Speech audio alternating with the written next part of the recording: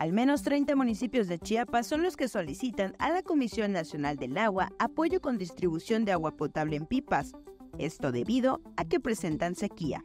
En Chiapas, el 40.3% se encuentra bajo condiciones anormalmente seco. Ese porcentaje de territorio representa 64 municipios, en tanto que el 30.5%, es decir, 43 municipios, tiene sequía, mientras que la sequía severa se registra en Ocosingo, Benemérito de las Américas y Marqués de Comillas. La mayoría de la escasez de agua la tenemos en las zonas serranas, en la sierra. Como les decía, que se, que se disminuye el suministro de agua donde ellos toman el agua y ahí viene la escasez. Pero ¿qué sucede? aquí hay una gran ventaja que Protección Civil tiene representantes en todos los municipios y además tiene los medios para apoyarlos. Muchas veces los apoya con bombas o con pipas, tienen pipas también. Nosotros tenemos pipas también para proporcionarles el agua a través de pipas. La, diferencia de, otras partes es que allá no tienen el agua. Aquí tenemos el agua, aunque sea un punto determinado, retirado, más lejos quizás de, de la comunidad que cuando es temporada de lluvia, pero sí tenemos agua con agua entregan las pipas en comodato en los ayuntamientos y son ellos los que se encargan de la distribución.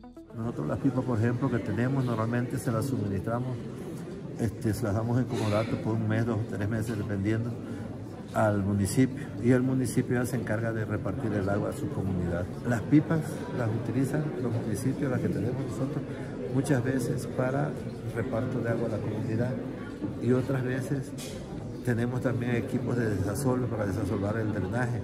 Entonces, para desasolvar un drenaje, tiene que ir el equipo de desasolve con su pipa. Sí, muchas veces las damos para desasolve y otras veces para agua potable. Afortunadamente la gente cuando ve que hay escasez cuida, cuida el agua, vamos a decir. Se les lleva, vamos a suponer, ya tienen su tampo, vamos a decir, su cubeta, se les llena y hay veces que les da para dos o tres días. El año pasado la sequía en Chiapas dejó al descubierto una iglesia sumergida en la presa Malpaso, pues la entidad mantuvo temperaturas por arriba de los 40 grados casi un mes. En ese sentido, la CONAGUA estima que este 2024 las presas se mantengan a su máxima capacidad. El año pasado no llovió mucho. Cuando es temporada de lluvia fuerte, las presas se llegan al 100% de su capacidad. En el año pasado tuvimos esta situación de que este, fue poca la lluvia y no, se lograron llenar las presas. Por ejemplo, la angostura anda en un 48%, la de, Mal, la de Malpaso anda un 57%, es lo que tiene de capacidad. Esperemos que se llene, ahí van a haber lluvia, lluvia en la, en la cuenca, en la cuenca, así.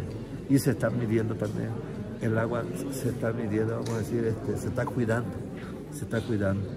Ya ahorita hay un gasto ecológico que se le llama, por ejemplo, que la presa Peñita, que es la que más descarga, que llega a descargar hasta 2.500 metros cúbicos por segundo, ahorita se, se está descargando 330 metros cúbicos por segundo nada más. Con imágenes de Gustavo Caballero, para Alerta Chiapas, Rubí Zúñiga.